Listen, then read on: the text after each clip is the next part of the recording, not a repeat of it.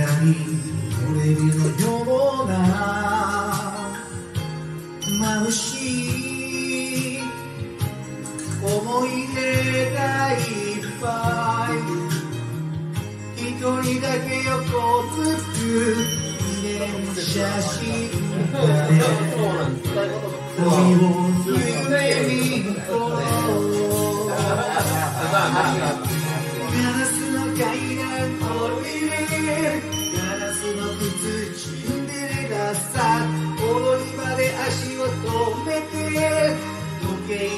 と気にしている少女だったと懐かしく大人の階段登る君はまだシンデレラさ幸せは誰かがきっと運んでくれると信じてるね少女だったといつの日か。来るのさ少女だったと懐かしく振り向く日があるのさ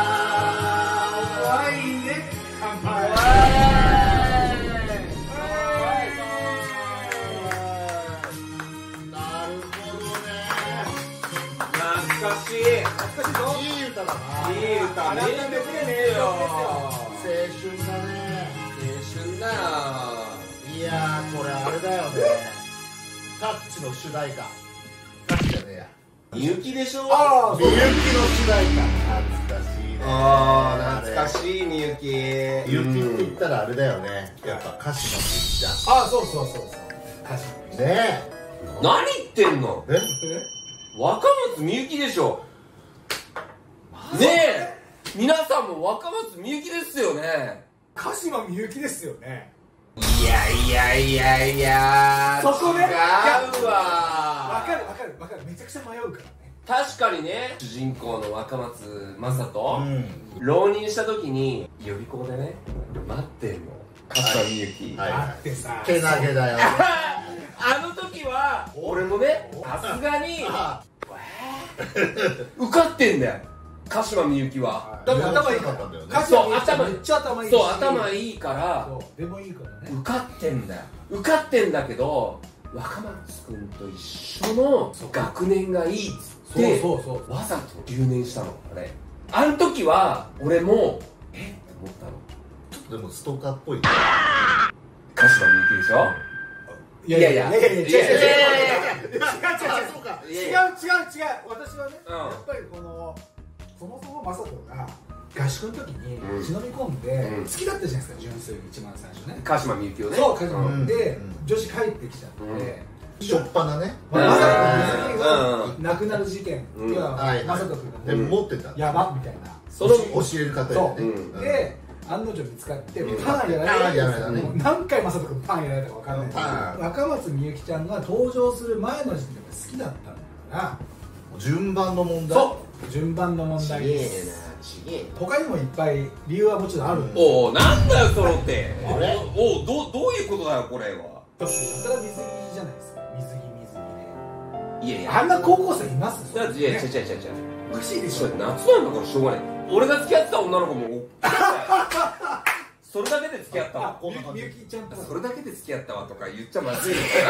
かな言っちゃまずいんだけど。断言断言してましたよでも大きかったっすよ。みゆきちゃんみゆきちゃんより大きかったみゆきちゃんより大きかったかどうか。みゆきちゃん大きみゆきちゃんが大きかったかどうか。そんな大きさを感じなかったよみゆきちゃん大きいでしょみゆきちゃんはどっちのみゆきちゃん両方スタイルは良かったけどでもそこまで胸を強調した描写そうだよね。はあんまりなかったっすよね。今日言って感じじゃない。たわまにたまにこことケツだけの描写多かっでも俺が付き合ってた女の子がたそこ。現実問題。まあまあまあ戻しまして。現まあ戻してね。僕は戻して。圧倒的に鹿島みゆきちゃんに圧倒的にっていうと語弊があります迷いますよ。それは迷うんだけど鹿島みゆきちゃんじゃああのね確かに迷う。清楚でいいっすよ鹿島みゆきちゃそんめっちゃくちゃ清楚でかわ一途。可愛らしいい。い子なんですよ。でもねエロさが足んねうわそこね。エロさが足んねえんすよ。あのね若松みゆきちゃんはエロいんだよな。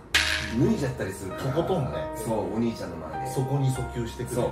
お兄ちゃんだと思ってたけどでも実際には血のつながりがない血のつながりはないんですよね。ああそうなんですよね。そう。なんですよでも若松みゆきちゃんも好きなんだよ。若松正人が。そうですよ。純粋なエロさで言うと、うん。若松みゆきの方がエロいっていうのは認めますよ。そう。あれはねでもアメリカナイズされてるんですよね。ただ、うん。そのエロさの演出が、うん。あの可愛いルックスじゃなくて、うんおばさんでやってたらめちゃくちゃキモいじゃないですか。えどういうこ下がピロパンティがピロピロピロえ？あとなんか帰ったらなんかこう下着姿でお迎えとか。いえいとえ。いやいやそのシーンどこだにもないです。だっておばさんじゃねえから。いやいやいやいや。高校生ですからね。いやいずれおばさんになるでしょ。いやいやえだからおばさんになる前の話じゃないですかそれ。あでも確かに。いやでもだよデスク。あの若松みゆきちゃんが私がおばさんになってもですよそれこそ。若松みゆきちゃんはおばさんになっても魅力的な女性ですよ。って僕は思いましたね。確かに。料理ができるしえそ動物好きだしそ優しいし。うそう。で何よりユーモアがあユーモるユーモアが。アおお鹿島みゆきちゃんも確かに清楚でうん。可愛いんですよ。めっちゃくちゃ。で純粋じゃないですか。さっき言ったようにね若松君と同じキャンパスライフを過ごしたいっていう中でわざわざ浪人したそうですしかもランク下げてのそう。浪人ですからね。もっといい大学行けたんででもそれ言ったら若松みゆきちゃんも頭いいんだよ学年でも12を争う頭の良さなんですよ。それでもやっぱりお兄ちゃんと一緒の大学に行くんだっつって結果若松みゆきちゃんも現役で受かるわけじゃないですか、わかります。現役で受かるもんだから同じ学年だよね。ね。別に他の大学も行けたわけだよ。だって学校の先生が何言ってんだっていうぐらいはいはい。学校の先生もうさんくさかったんですけどね。中田先生が 体育の先生。そうやばいっすよね今だったらもうこれですよ。もう間違いない。間違いないですよ。間違いない。つ激ヤバっすよ。教員たるべき姿勢じゃないですよねあれは。あの先生、うん。告白したのがミスってブスな子でもその子み じゃあその子みゆきちゃんだったんだで結あの婚するああのお見合いでね。気象みたいな。そう。なんでこんなブスと俺は結婚しなきゃいけない？その結婚相手のお父さんに対してなんで俺はあんなブスと結婚するんだって居酒屋で酔っ払って言っちゃったよ。たまたまお父さんそたまたまお父さんでそなんでだよっつってみゆき違いでみたいになって。うで結婚破棄になっちゃう。まあある意味すがすがしいけど。わ恥ずかしいけど。そうそうそうでもあれはね教員じゃねえわ。あいつはまずいね。あいつはまずいっすよ。まずい。カナダかなんかからなんか外人来なかった。来た来た来た来た来た来た来た。結婚する約束したんだ危なかった。よまさか爆発きました。ねうん。一瞬で消えたよねあいつね。ほんとちょい役だったねあれ。ちょい役あるあるで言ったらいきなり馬みたいなのが突っ込んできて柔道部みたいなやつが吹き飛ばしてたし。あ。あ暴れるのね暴れる暴れる歌詞のみゆきを守るああ守るあなんか助けてって言えば来るみたいなねうんでも今で言ったらただのストーカーですよねまああれ全員ストーカーですよでもじ実は学級委員の高坂君とかもの方が実はまともだったりするかもしれないですね高坂君は実は勝ち組だと思ったですよねうん実はこんなしかなかった。ちっちゃいからうわだんだん思い出してくるよ実際脇役の人の方がまともかもしれないですよね。だってわざとおかしいじゃないですか。ぼやーっとしてるよね。えぼやっとしてる。どっちなんだてめえで結局どっちつかずの状態でそどっちなのどっちなのどっちなのみたいな。っていう体なんでしょそう。イライラしますよね。あイライラした。イライラしたわ 羨ましすぎる。だって学年一のマドンナの鹿島みゆきからも好かれてる。そうです。よでもそんな中で妹の若松みゆきも気になっちゃって気になっちゃっ気になっちゃうそれは毎日だって一つ屋根の下にいますからね。僕はそこなんですよ。毎日毎日一つ屋根の下にいたらそれはそうなりますよ。いやでもね一つ屋根の下にいたとしてもあの若松みゆきの魅力にはやられちゃうね。男は。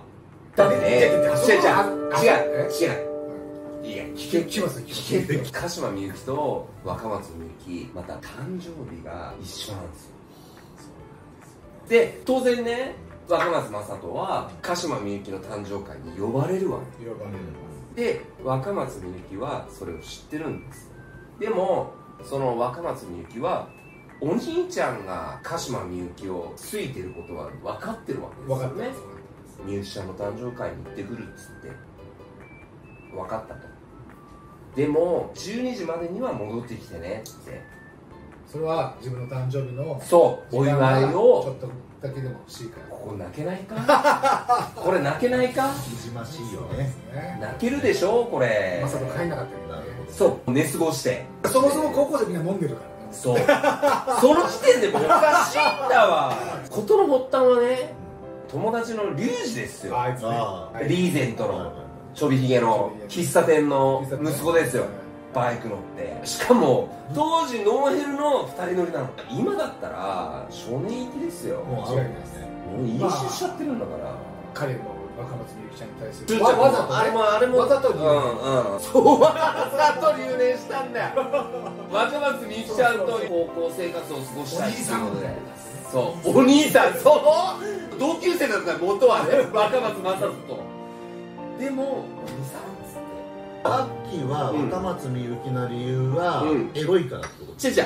エロいからじゃないねエロスもあるけどあのけなげさって。あけなげ。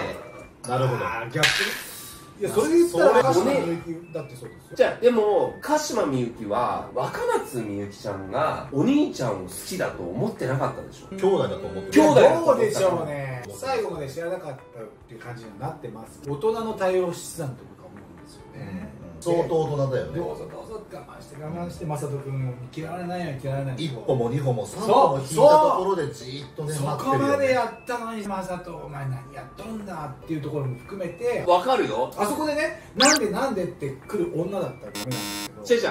そのね鹿島みゆきちゃんの優しさもわかるけど若松みゆきの優しさもあるんだよ鹿島みゆきのお母さんがうん。みゆきちゃんにねやきもち焼いてんのよってちょいちょい言ってるじゃないですか、うん。多分愚痴ってるんですよ家で。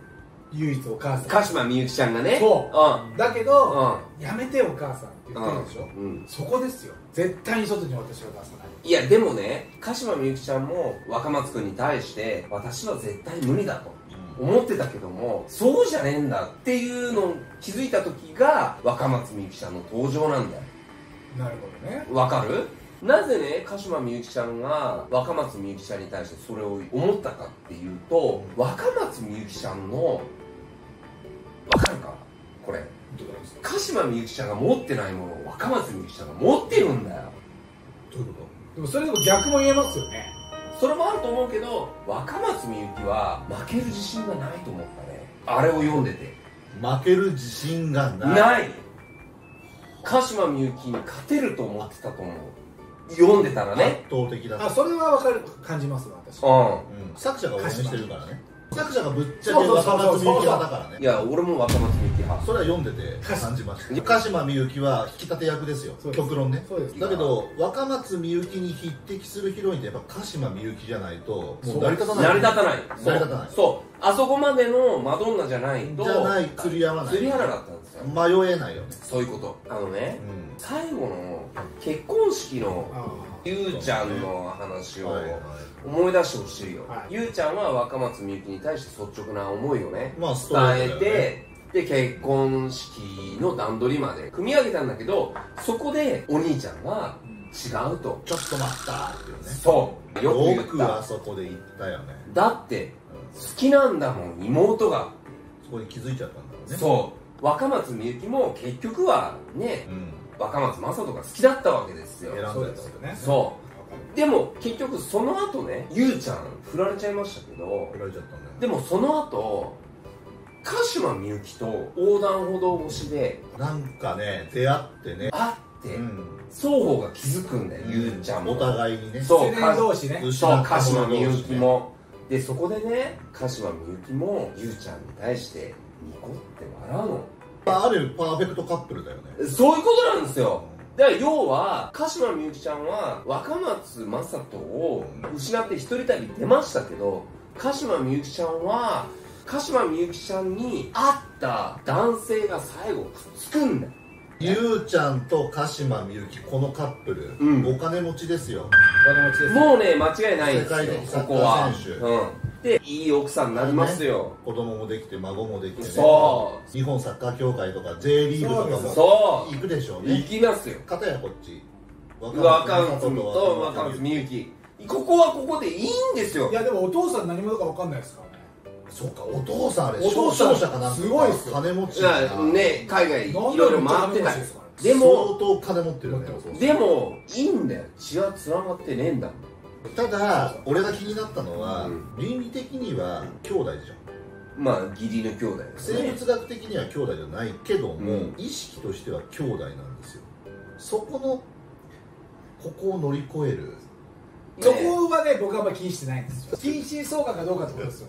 違う違う。そとじゃあそこだいや違う違う。それはそうだよ。いいんだよ。いやいやそうだよそうだよ。そういうことですよね。そういうことだよでもね違うんだよ。当時の足立満はそこを乗り越えた作品を作ったっていうのが僕は一つだと思うんですよ。一種のタブーを乗り越えるわけだよね。そうそうそう。妹とやっちゃうみたいなね。そう。やっちゃうってやっちゃう。やってない。言うんだよ。キスやっちゃうファーストキスは確かにです僕はあの漫画のストーリーは綺麗にまとまってるとは思うんですけど僕が若松正人だったらあんだけお兄ちゃんとして耐えたわけですよ。お兄ちゃんだ俺はっつってねわかります？耐えたんですよ。耐えたね。僕だったらもう多分無理です。いや無理だってことは若松みゆきなんでしょ？若松みゆきちゃんとやっちゃう。でもやっちゃうのに鹿結果的に島みゆきなの？結果的に最低だね。違う違う違う違う最低だね。それ言われるとね俺もやっちゃう。そうやっぱ結果的に分かれてやっぱり違うダメだと。思って鹿島みゆきちゃんに行く。そうですそう何いい思いしてんだよなんで両方とやっていい思いしちゃってだってあの漫画で言ったらそういうことでしょ？そういうことじゃねえ。だって鹿島みゆきちゃんとはやってないからねまだ。初体験は若松みゆきちゃんで。いや若松みゆきちゃんともや結婚するのは鹿島みゆきちゃん。うわうわ。お前最悪だわ。最低だわお前。本当崩しのそうです。でも原作中ではどっちともやってないんだよ。漫画の中はそういう話だけど僕だったらお前だったらな。お前だったらな。お前だったらそういうやましい気持ちだわ。そうですねちげえんだよ。そうじゃねえんだ。俺が言ってんのはそういうことじゃねえんだ。よだって鹿島みゆきちゃんと結婚したらピンポン後ろに下がってくるんでねでも別にいいじゃない。鹿そっから。島みゆきちゃんだって顔は一緒なんだから髪切って茶色にしたら若松みゆきちゃんとで鹿島みゆきちゃんだってそういうことじゃねえよじゃあ鹿島みゆきちゃんだって分かんないですよ。あのあの場面ではこうやって気使ってるけど一緒になってそっからどうなるか分からない。だってあのお父さんですよ。ね警警察官のね。えあの人。あれね。やばいっすよあの人。